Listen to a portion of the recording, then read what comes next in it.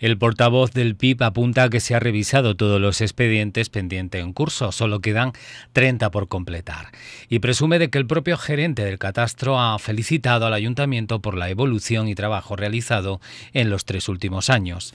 Pero Mayoral precisa que queda trabajo pendiente por su parte, porque siguen los problemas con la empresa que se contrató para la revisión catastral para terminar de dar de alta a las viviendas de los Olivillos y se ha tomado la decisión de si para final de año no está dadas de alta, se acometerá el trabajo de forma conjunta.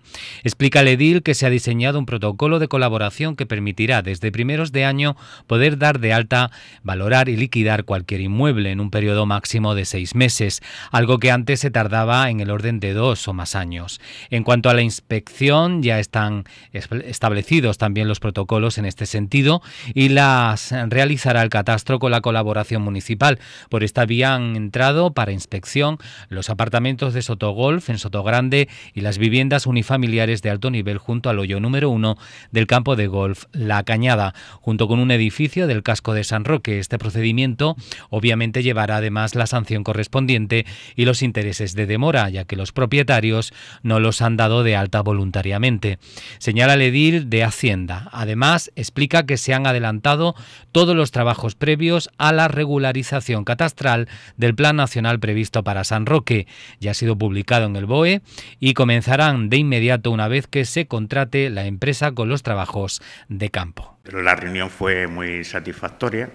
Eh, nos volvieron a felicitar por la colaboración que tiene este ayuntamiento con el catastro.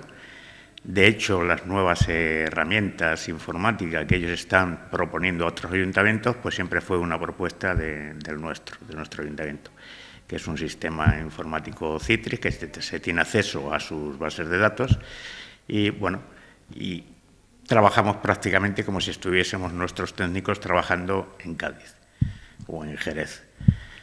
Eh, solamente hay que dar un par de escollos todavía pendientes, se disculparon porque no tienen solucionado el tema de las viviendas de los olivillos. Llegamos a un acuerdo ya que es en el mes de diciembre ese tema no estaba resuelto lo haríamos conjuntamente las dos administraciones.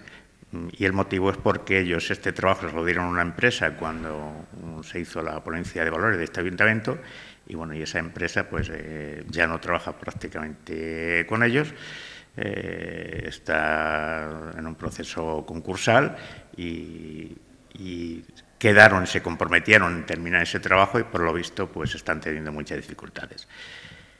Eh, quitando ese escollo, pues eh, ya tenemos hecho, hemos hecho unos protocolos de, actuación para aligerar todos los expedientes.